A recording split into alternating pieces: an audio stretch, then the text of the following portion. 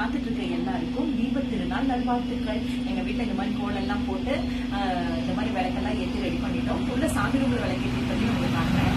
பார்க்கும்போது எப்படி பிரகாசமும் இருக்கும் எப்படி பிரைட்டா இருக்கணும் அதே மாதிரி உங்க வாழ்க்கை இதே மாதிரி பிரகாசமா இருக்கட்டும். இந்த மாதிரி தான் கோலம் எல்லாம் போட்டு நாங்க தீப திருநாள் நல்வாழ்த்துக்கள்லாம் எழுதி செலிப்ரேட் பண்ணோம். எல்லாருக்கும் திரு கார்த்திகை திருநாள் நல்வாழ்த்துக்கள். இந்நேரம் அண்ணாமலை தீபம் ஏற்றி நீங்கள் எல்லாரும் செலிப்ரேட் பண்ணிட்டு இருப்பீங்கல்ல நாங்களும் இந்த மாதிரி தீபம்லாம் ஏற்றி நல்லா சாமி கும்பிட்டு எல்லாருக்கும் வேண்டிக்கிட்டோம்.